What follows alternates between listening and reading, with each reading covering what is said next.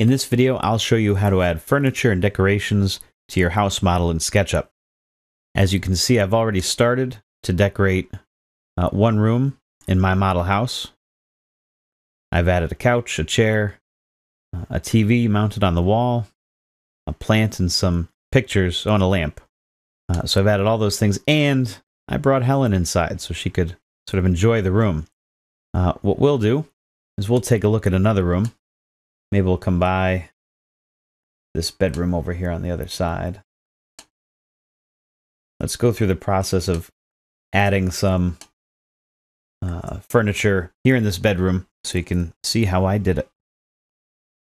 Uh, first, we need to go to our uh, 3D warehouse. So we're going to click over here on components. It says search 3D warehouse. Uh, it's a bedroom, so let's start with a bed. You can type in what it is you want to search for and click enter or search here. And you'll see that we have some search results coming up for bed.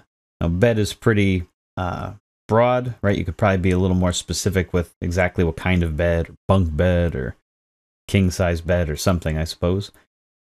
Uh, but we got some options. And also, it's not just the options you see here because at the bottom you'll see page one of 2,151. So there's lots of choices here. If we search bed, I'm going to click through a couple. Um, and there's a couple things I'd like you to think about. One is uh, the look of the bed. Does this bed look like the sort of bed you'd like in your house? But also, uh, watch under here in this sort of gray uh, highlight here. It says the size uh, in terms of the, the amount of memory it will take. We want to be careful not to load our house up with a, a whole bunch of large models because that's going to slow it down, make the thing crawl. Um, so try to keep them, you know, to maybe a couple megabytes or something tops if you can. Uh, try not to get too big here. So let's let's go with this bed. We'll see what it looks like. I'm going to click it. And you'll see it says downloading model, inserting model. And in just a second, that box is going to go away. We'll give it a second here. And now the bed is sort of following my cursor. You see I've got the move tool now. The bed is following my cursor around. That's pretty big in this room. We'll try it out just to just to take a look. So I'm going to find a spot here and click. And now that the bed is in, that is a big bed. I can move around. I can see it's in the space. And uh, if I want to keep that there, for now, let's go with it. We'll, we'll keep it. Uh, I still have the move tool. And there's a, there's a couple tips for you for moving furniture around or whatever it is that you download uh, that I think are pretty important for you to, to be able to do this well. Uh, first, when you're going to move something, you'll click on it with the move tool once. So I just clicked and I let the mouse button go. If I want to move it in a direction, try to move only in one direction at a time. So right now you see the red axis is highlighted. It says on red axis. So I'm just sort of sliding it across the floor in that red axis direction. Um, I could also go this way. Uh, so I'm highlighting the green axis, or maybe I want to come sort of this way on the green axis, right? So again, I'm sliding it across the floor in the green direction. Right now, I actually want to go in the red direction, so I'm just going to bring it back here. The blue direction, you might remember, is vertical, up and down. So the blue direction would come in handy if we want to put a TV higher or lower on the wall, or if when you bring the bed in, let's see if, if ours is good. Ours looks pretty good. But if when we bring the bed in, it happens to be floating in the air, uh, that might happen to your model. So we would use the blue direction for that. Uh, next tip is this bed doesn't just have to stay in this direction, right? Uh, we can rotate this around. You might find a rotate tool in here somewhere, but but don't use that. Instead, stay on the move tool. So right now you'll see I'm still on the move tool. And as I hover over uh, this sort of blue boundary box uh, around this model, you'll see I have these little red sort of plus sign handles here. And if I hover over one of those, you'll see now I've got this rotate tool indicator showing up. I've got the cursor that shows the, the two arrows going around. If I click and hold, and drag. I can actually rotate that bed around to face the way that I'd like it to face. I'll know that it's straight. You see that red highlight there on the guideline. I know that this is straight uh, along with that red axis, so I'm going to let it go. And if I change my view, I can sort of check how is this lined up in the room. It looks like I've got to bring this over to this front wall a little bit more. So I'm going to drag this a little in the blue direction and click, and let's sort of keep it there. All right, how do I get rid of the blue bounding box? Uh, really, if you just click away. So I'm going to click back on the regular cursor. I'm going to click away. And there now it's in the space. And I have my bed. Okay, not bad. It's it's uh, a it's a little too big. Um, but for the purposes of this, um, let's just keep going here. What's something else that should be in the bedroom? Uh, maybe I don't even think I have room for a nightstand. Nightstand. Okay, what sort of a nightstand might look good with this gigantic bed? Uh, does that look good? Let's try this one. I see it's pretty small. I'll click it. That loaded really quickly. I'll click to put it into the room. Might actually work out. A lot of what you do here is going to be changing your view around to get to a good view from which to move your models. Remember, use the move tool. I'll click, let that mouse button go, and now it'll follow me as I drag the mouse. So I'm going to move in one direction first. I just went into the wall a little bit. You see how that blue boundary box cuts off?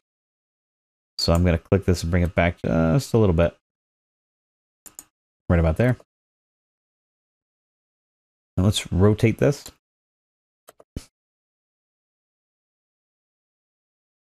There it is. There's the front. To where we're in line with that green axis. There we go. Let it go. And we'll move this back.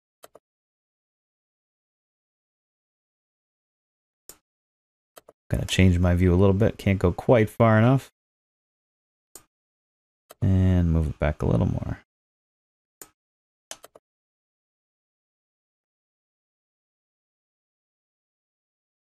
Honestly, that looks a little small. And I'm thinking about this bed here. Maybe I can show you one more little trick. It seems like that bed is just a little big.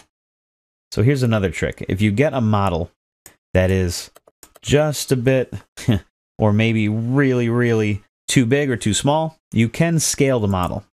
So if I click on that and I come over here to move, right, I get these three tools that fly out. So it's not just move, there's a couple others. This bottom one is scale. Click scale. Now you see these green handles all around. Grab a corner handle, not a middle one or something. That's going to stretch it funny.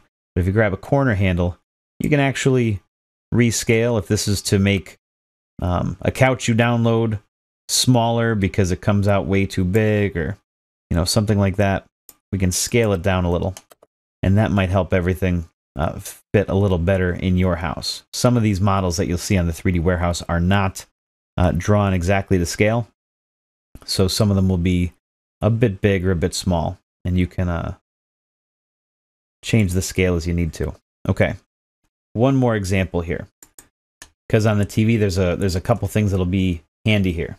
Uh, what I did to search this TV is I searched LED TV, and you'll see it's this one right here.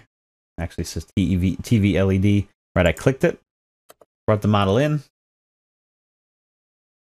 but you'll see that when the TV comes in, it's sort of facing the wrong way for the wall that I want to put it on. So I showed you this before you can, with the move tool active, you can hover over one edge, even if it's kind of thin. You see how thin that top uh, face is here?